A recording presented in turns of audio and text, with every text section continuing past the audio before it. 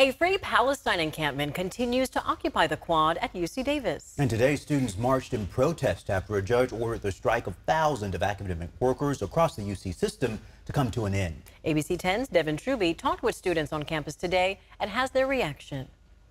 When our free speech is under attack, what do we do? Stand up, fight back! What do we do? Stand up, fight back! Students for a free Palestine at UC Davis marching across campus Tuesday.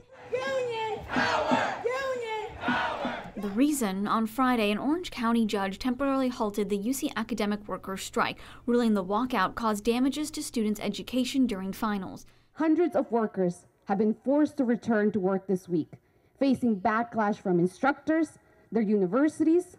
Some are expected to complete three weeks of work in just four days, and many have been very confused about the process when we only have four days of school left.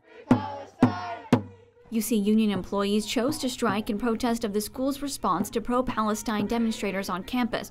Students have been living in tents on the quad at UC Davis since May in protest of Israel's actions in Gaza.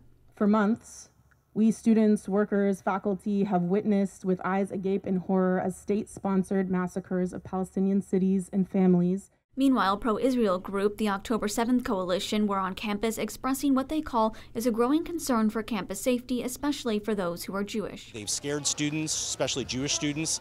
Um, they've discriminated against a whole fleet of people. And I would say at this point, if you're not part of the encampment, you're pretty sick of this entire thing going on because you can't just have a normal existence on campus. You can't have a healthy, educational environment. UC Davis referred us to a statement issued in May saying UC Davis leaders say the conversation was productive and that they will continue to engage with students. The Davis Faculty Association says they support the union and their rights. This is finals week. We asked the encampment if they plan to be here into summer. They said that's not something they can share right now. Reporting at UC Davis, Devin Truby, ABC 10. Now, the court says the strike has to stop until at least June 27, so stay with ABC 10 for updates.